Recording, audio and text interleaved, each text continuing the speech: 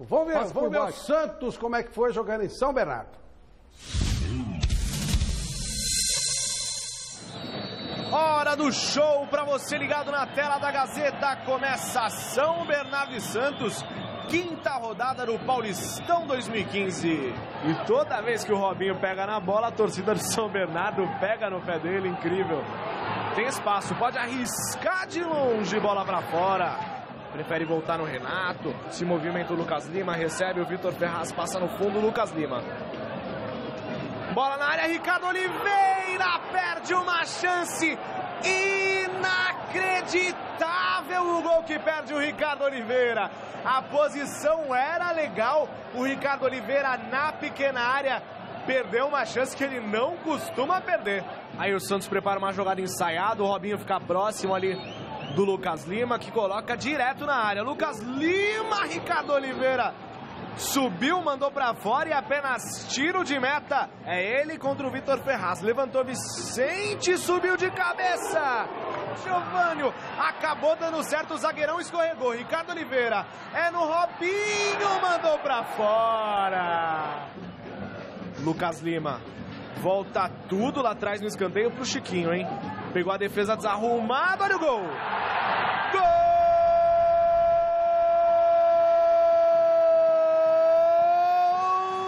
do Santos!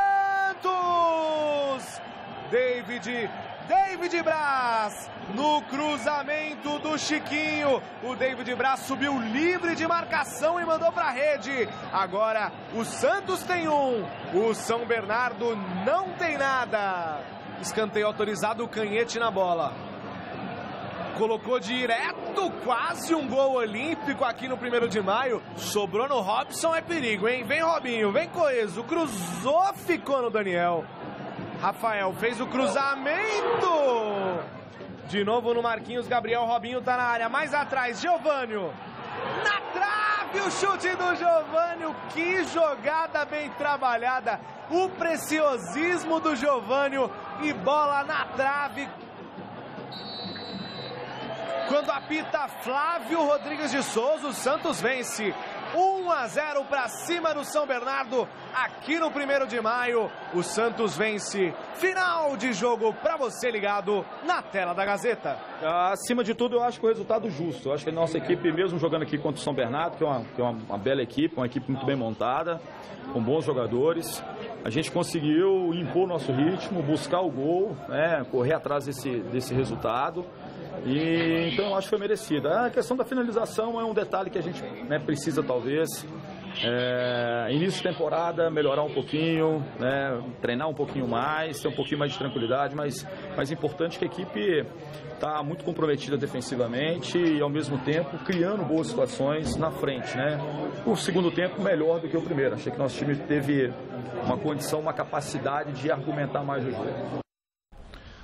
Olha, foi uma boa, uma jogada bem trabalhada do Santos a do gol. Porque ele bate o escanteio aberto e ele quebra a marcação do, do, do São Bernardo e aí o Chiquinho mete a bola e o David Braz vem por trás. Foi uma jogada bem trabalhada, hein, Chico? Achei É, legal. eu, eu, eu acredito, o, o- meu caro Flávio Prado, o Santos ano passado, ele não conseguiu é, ir muito além no Campeonato Brasileiro, mas, mas já tinha um, um- um time montado. Com a saída do Aroca, mas com a chegada do Elano, é, além do Elano também vieram novos goleiros. é, O Ricardo Oliveira é, mesmo. o Ricardo Oliveira, o Robinho. A hora que esse pessoal começar a entrosar com a molecada, eu acho que o Santos vai ganhar muito. Agora também está jogando o Robigol, que voltou da seleção. Então acho que a tendência do Santos é subir nesse campeonato. Uma jogada bem feitinha. Eu acho, na minha opinião. Quebrou a defesa. É, e o, quebrou a defesa. E o David Braz vem de trás. Parabéns ao Anderson Moreira. Claramente Aliás, o David Braz, o que faz gol de cabeça é um negócio impressionante, né? Ele faz muito gol de cabeça. Quando ele vai para frente e ele se arrisca na- no ataque, é, geralmente ele marca. Aqui no Pacaembu teve uma vez que ele fez, num jogo só, ele fez três. Né? É, porque se depender de chutar... É, não, que chutar ele é- não sabe, ele sabe cabecear. É, eu um- acho que é um bom zagueiro o David Braz. E está agora se soltando mais, né? Então eu acho que o Santos vai dar ainda muito trabalho. Vai dar o que falar esse ano aqui o Santos. Ah, Ao contrário do que o pessoal estava dizendo, que era um sério candidato a rebaixamento. Não é não. Principalmente a hora que o Robinho começar a jogar, porque o Santos está jogando com 10, né? Elano, Robinho, O Ricardo Santos Oliveira tá que perdeu o gol aí 10. também. Se tivesse com o sapato da Michelle, talvez não perdesse. É. Né? Também é outro, para não falar que não falei de flores, né? É porque o cara perdeu também um gol que, pelo amor de Deus, Ricardo Oliveira, né? Não se perde gol assim. E esse Giovanni, Sam- o, o meu caro Flávio, é que me chama a atenção. Ele está jogando bem, está começando a se soltar. Parece que ele deu uma sossegada, né? É, deu uma sossegada fora de campo e começou a se Tá meio mostrar agitado e dentro tal, de deu uma campo. sossegada, melhorou. Legal, legal. Olha o gol que o Ricardo Oliveira perdeu. É, esse foi pior que aquele do Mendonça, porque o Mendonça não tem técnica para fazer gol mesmo. Ele só corre. O João que gosta dele, João Batista, igual, diz que é um cara que corre, sei lá. Então, então tá na posição errada. Não, e o João Batista falou que vai inscrever ele na São Silvestre ano que vem. Aí sim, o sério É, candidato a não, ganhar. esse ano. Pela Colômbia vai ganhar, vai ser um Esse sucesso. Vai escrever Vai na São Silvestre. Eu lembro bem do, do, do, do Dácio, o Dácio Ponta lá, jogou no América, jogou até no São Paulo, Rio Preto, todo o Dácio.